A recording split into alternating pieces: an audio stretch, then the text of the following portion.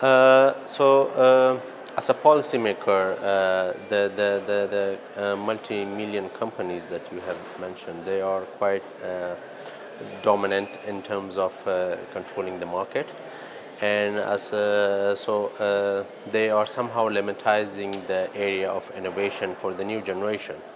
And that's where I think if we believe that technology should be inclusive, so everyone should be a part of that.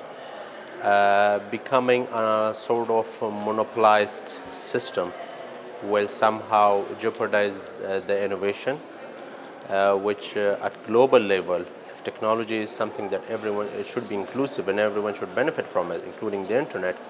So uh, the innovation, research and development should be something that everyone should be a part of it and everyone should reap up its benefit not only just the big companies, but everyone, every individual or, or a guy from university. So this is how, how the concept should be, rather than having a monopolized or controlled system.